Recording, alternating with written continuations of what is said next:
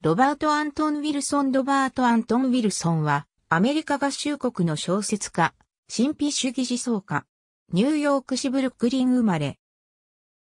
ニューヨーク大学で数学、工学を学んだ後、エンジニア助手、セールスマン、コピーライター、プレイボーイ誌編集者などを体験。その後、テレパシーや超常現象をテーマにした作品を書く SF 作家に転向。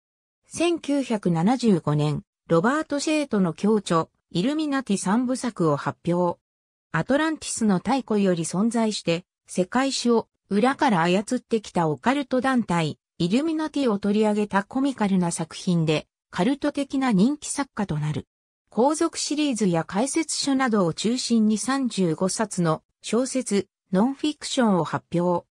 また、1977年、幻覚作用のあるサボテンを試しながら、宇宙人と交流したとする自叙伝風の作品、コスミックトリガー、イルミナティ最後の秘密を発表し、話題を集める。1986年にイルミナティ三部作がプロメテウス賞殿堂賞を受賞。1980年代にはニューエイジ哲学をパロディ化したアナーキーな宗教をサブジーニアス教会からボブ法王として崇拝され、新しいコンピュータ文化の中で再評価を受ける。ティモシー・リアリーとの交流など、ポップオカルトの重要人物であった。1995年4月に彼の死亡のニュースがインターネット上を駆け巡った。